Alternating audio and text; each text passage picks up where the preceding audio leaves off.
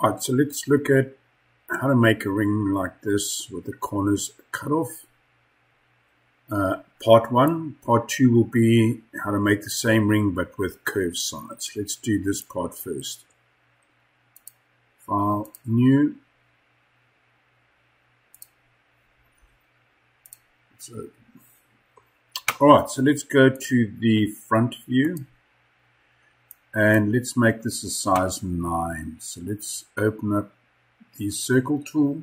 Let's go from 0 enter. And the size 9 is 18.9 mils. And you're going to hold shift left click. And then let's put the thickness of the ring at the bottom. So go to the line. Make sure your O snaps are turned on. Pick the 6 o'clock then in the command line, type in 2, enter, go down, hold shift, left click, right click. Repeat the command by hitting the space bar, go to the 9 o'clock, click, go to the top, let's put in 2.4, hold shift, left click, right click. Then let's go to the third of the arc tools, so start, end, and your direction is hold shift, pull all the way out to the left, and click. All right, now let's talk about how high the ring is, how thick the ring is off the fingers. Let's go to the line. Let's click at the 12 o'clock. In the command line, let's type in 3.5, left click and right click.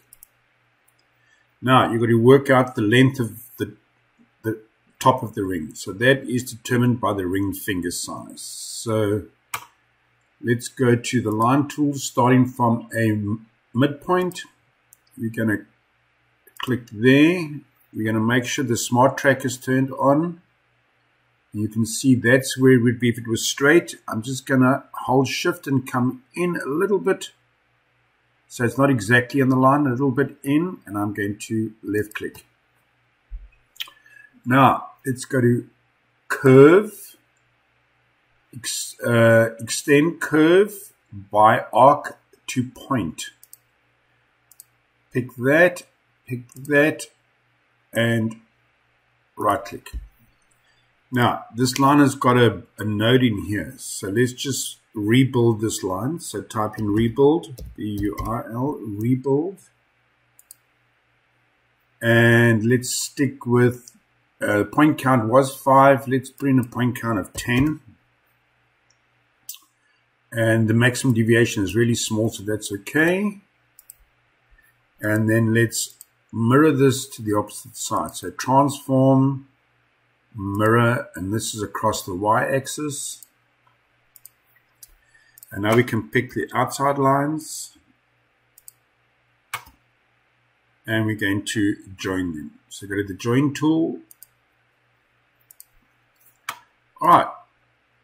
So now we can select the inside circle, the outside shape, and you're going to go to extrude. You're going to make sure both sides is yes, solid equals yes.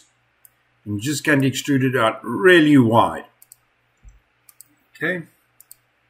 And now from the side view, we're going to draw how wide we want our ring to actually be at the top. So we're just going to point, I'm clicking at the top corner there and I'm saying, okay, uh, let's make this, if the ring is 15, this is 7.5.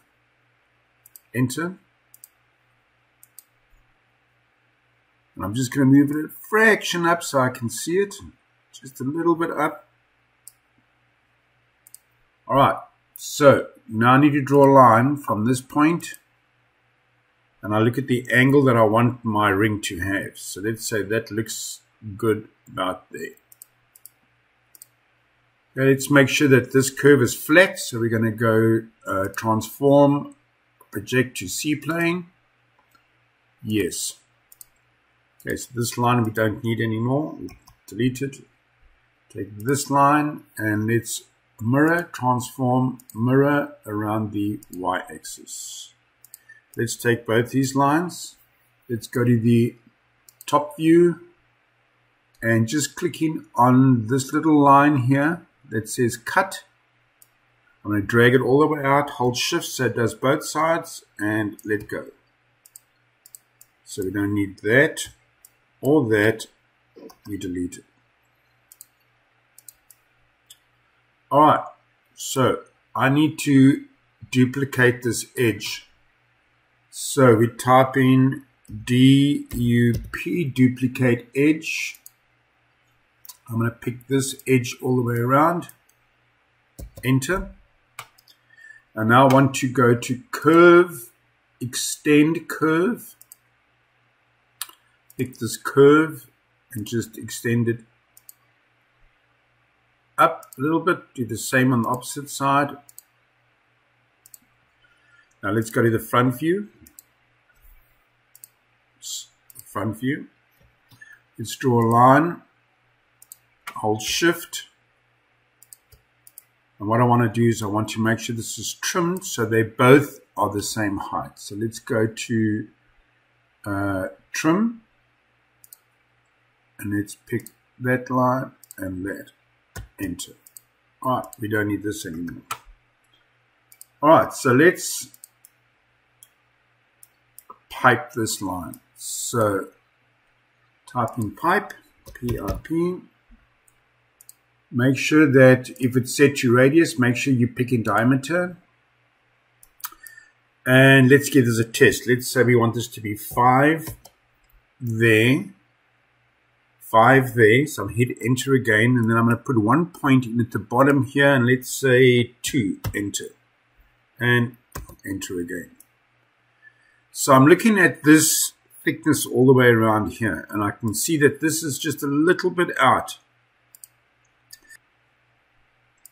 Okay, let's go to cage edit, C-A-G-E, make sure it's cage edit. Let's pick the object that's going to go into the cage edit, hit enter, bounding box, click bounding box, enter, enter, and enter again. So we're going to just grab all these nodes that run through the center only. I'm just going to stretch this out a little bit. So if you hold the Alt key, it allows you to snap a little bit easier. Okay, that looks good. Go OK. And now I've got a nice even shape around. So take this and delete it.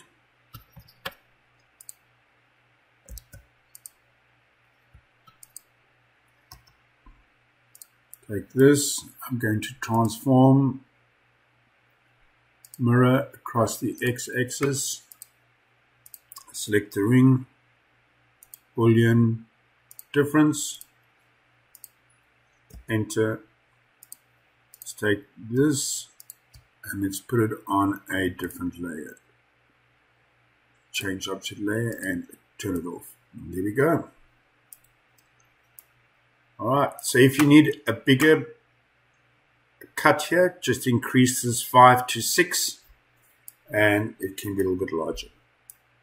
All right, hope you enjoyed that.